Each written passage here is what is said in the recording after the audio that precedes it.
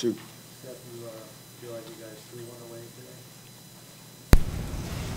Yeah, I mean, could have played a lot better, but you know we did. We did enough to take it in overtime. We had some clean, clean football at the end. Um, we just didn't do enough. I mean, I feel like uh, we're doing a lot of good things. Can't take that away from the game, but uh, there's some things we got to get fixed. So, uh, back to work tomorrow. How is it so difficult, Steph, to find that balance with run and pass? It seemed like I was, was doing that real well in the first half. Second half, up 17, you would figure that, you know, you would try to run a little bit more, but that didn't happen. Like, how do you find that balance? I mean, it's taking what they give you. I mean, I, I trust that they putting us in the best situation to win. So like, uh, as far as like with the balance, like we were moving the ball, especially in the second half. We did move the ball. We have success. So it's not like, uh, as far as like the imbalance wasn't working. We were, we were doing was working. You know, so whatever they call, we just got to find a way to make it work. So, yeah.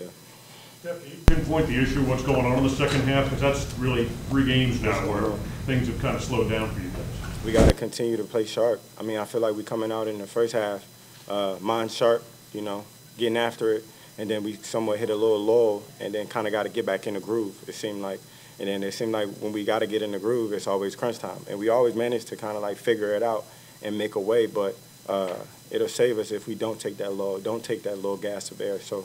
Um, you know, Von always say don't blink, and I feel like we might be blinking a little bit, especially when we come out trying to figure it out. You know what I'm saying? We've lost every toss. So the ability to come out there on offense and being able to play fast and man, maybe even double dip, it's, it's been lost a little bit. We got to work on our uh, heads and tails a little bit, get a little bit of good luck, but um, we just got to continue to play. You know, I mean, this game has its ebbs and flows, along with the seasons. I mean, we can't ride a roller coaster, so uh, chin up. Would you call a lull, is that sometimes taking the other team lightly because No. it's coming easy? No, I mean if you if you look at the score, the score was still tight. When I look think about a low, I feel like uh, it's more so not being as sharp. You know what I'm saying? Like for example, like me jumping off sides, like like that. Like that's what I mean more so like a low, not so much about the other team because like I said every week, the other team gonna give you their best shot. You know what I'm saying? They always gonna give us that. So uh, I heavily anticipated, never a low, more so looking inward more than anything. How jolting, how jolting was it to feel like pretty much everybody in the stadium that this thing is gonna end, and then, and then the snap, and that happens, something just crazy like that happens at the end? What, a sense of how you were feeling about that, and maybe guys around you? I mean, jolting, that's a new one for me. Uh, never really heard that one as far as like with the football.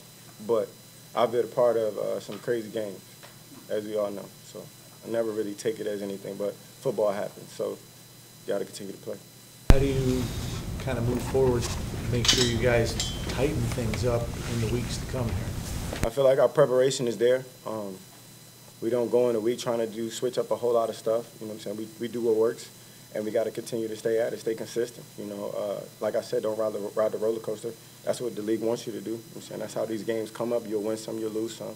You win, you're the best. You lose, you're the worst. So um, stay consistent. Um, I'm not going to change anything about my routine. Just keep going hard uh, and try to increase my effort. I'm saying? I feel like uh, I should have I should have put the game away. We had four minutes. I missed a, uh, third down and I had a chance to end it. Then I jumped offside. So looking inward always, I'm saying I could I could play better. So Knowing the competitor you are, knowing the competitor Josh is, how do you kind of keep him more on an even keel so he's not pressing? Because now it's another loss, you know he thinks about that stuff, Yeah. he wants to lead. How do you kind of keep him here Yeah. instead of pressing? if I know Josh, I know he's extremely hard on himself. So I I don't play the role of saying, oh, I mean I don't know. I never even talk about the negative stuff. I'm more of a positive positive guy, anyways. But I got his back, no matter how this shakes out. Um, our quarterback gives a lot of effort. You know what I'm saying? At the end of the game, you saw him lead us all the way down, all the all the way down the field. So especially taking the positives from it, he's going to hate it for 24 hours. But uh, I got his back. I can't. I take the good with the bad any day. My quarterback is a winner. Um, we lost two games. You know what I'm saying we just trying to bounce back at this point. Uh, we playing a lot of good football, and it's things that we can get better at. That's all I can really like attest to. Like we can be better. We will be better. Is that on that, uh, on quick pass and and You're a little frustrated when you have the blockers coming out in front of you. So what, uh, what opportunity do you think was missed on? I feel like I should have been more patient and trusted him. Um, I saw him coming, but I feel like that we had enough blockers that it was more it was more food on the bone is what I say. I try not to leave no meat on the bone. So I was more so frustrated with myself because you know when you get in those hypertension situations, you want it bad. I want it real, real bad. So I could have just been a little bit more patient, let the O line be the O line. You know they they do a great job. So uh, that was a little bit of my frustration. Not no, not necessarily nothing else. That- Will it help sharpen your focus to know that you've let the Dolphins and Jets catch you in the division? Um, I mean, I, don't, I I can't say like it'll be like, you know, the Dolphins and the Jets are right behind us. Like that's not that's not the world we live in. You know what I'm saying they're good teams.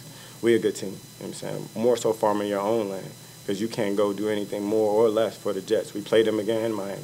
We played them again. Uh, that's down the line in the, in the season, but. Uh, Sharpening your focus will come from just always looking inward. It's not really looking at anything everybody else doing, and everybody else doing their one eleven. If everybody doing their job, we can always come out with a mindset of, all right, we did what we could. I'm saying, can we be better? Yes. Will we be better? Yes.